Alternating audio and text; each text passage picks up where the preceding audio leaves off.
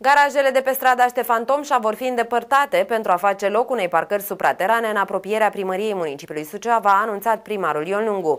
Totodată se va renunța la proiectul inițial de a ridica o asemenea parcare care urma să facă legătura cu o latură a stadionului Areni.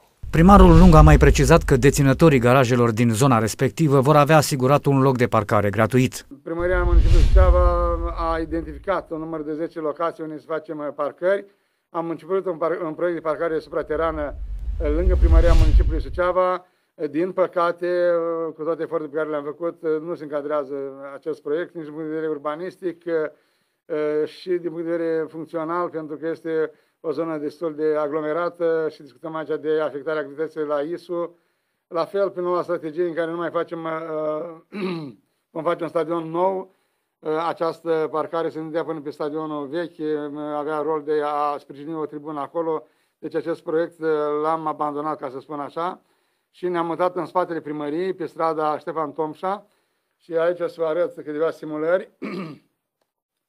e vorba de strada Ștefan Tomșa, inat lângă primărie, ă, acolo unde sunt număr de 36 plus 15 și 51 de garaje, 36 pe partea 36 pe partea uh, dreaptă, cum se merge spre, mă rog, Stamânii Sopescu și pe sensul la primărie și 15 pe partea stângă.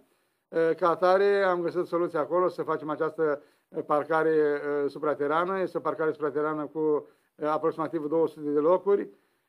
Ea vine pe două nivele, în mare parte, iar în partea de jos, fiind o diferență de nivel, vine un demisol, mai vin încă amenajate 70 de locuri de parcare. Tocmai de aceea noi vrem să dăm câte un loc de parcare celor care au garaje acolo. Va trebui să termăm acele garaje.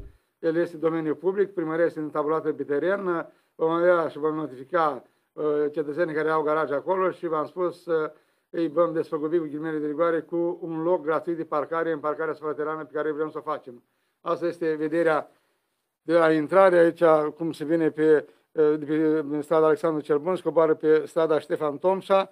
Deci aici este o vedere din față din, uh, uh, de pe strada uh, Alexandru cel Bun și mai avem o vedere din spate, așa cum se vede ea, pe partea străzii Ștefan Tomșa.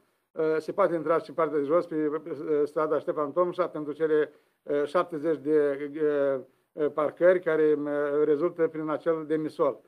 Ca atare vom demara procedurile pentru realizarea puzului, discuțiile cu proprietarii de garaje, vrem să demarăm uh, lucrări de construcție acestei parcări supraterane uh, anul viitor, un lucru foarte important uh, pentru frizarea traficului în această zonă foarte aglomerată a primăriei municipiului Suceava.